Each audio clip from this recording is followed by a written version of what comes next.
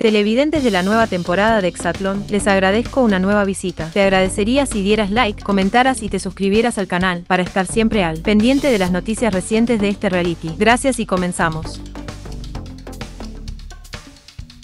Cuatro leyendas de Hexatlón México que no nos cansamos de ver en televisión. El talento y carisma de los atletas los ubicó no solo como elementos destacados del show, sino también como miembros que los fans no se cansan de seguir. Pese a que más de un centenar de atletas han tenido hasta el momento la gran oportunidad de correr las pistas de Hexatlón México, muy pocos son los que ahora, allá escasos meses de arrancar la segunda edición, al estar, tendrán otra vez la fortuna de contender como leyendas los próximos combates del programa. Sin embargo, si bien muchos de ellos son excelentes exponentes en los encuentros, la mayoría ya cansó al público que al parecer no está dispuesto a ver otra entrega con estos en el papel protagónico. No obstante, a pesar de las distintas percepciones, también hay competidores que son la excepción. Leyendas que no nos cansamos de ver en Hexatlón México. Eliud Pulido, Black Panther, es uno de los campeones rojos más queridos de Hexatlón México, pues el exmiembro de la batalla demostró en los circuitos de la misma que su destreza competitiva es solo una de las muchas cualidades que lo distinguen. Además de su alto nivel como deportista, el experto en remo también evidenció ser amable y de los más queridos del concurso dada su manera de progresar y por la forma en que se involucra con el avance de su equipo. Evelyn Guijarro, Saiper es una de las chicas azules más solicitadas por los fans de Hexatlón México,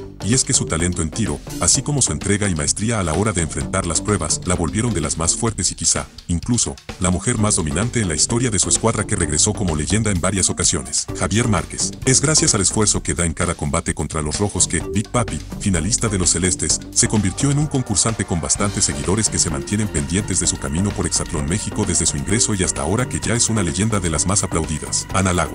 Desde Hexatlón México 1, la gimnasta de los Rojos logró posicionarse como una de las chicas del show con más aceptación por parte de la audiencia que festejó con ella su retorno a la competencia como elemento, al estar, que la volvió leyenda. Los atletas expuestos, Eliud, Eve, Ana y Javi, son excomponentes de Hexatlón México que consiguieron avanzar con excelente rendimiento en el certamen y que ahora, por su óptimo papel en ediciones previas, son leyendas que el público del programa no se cansa de ver en la pantalla. Y bueno, hemos llegado al final de las noticias de hoy, no olvides comentar qué te pareció, da like, suscríbete al canal y activa la campanita para así traerte siempre más y mejor información. Hasta la próxima.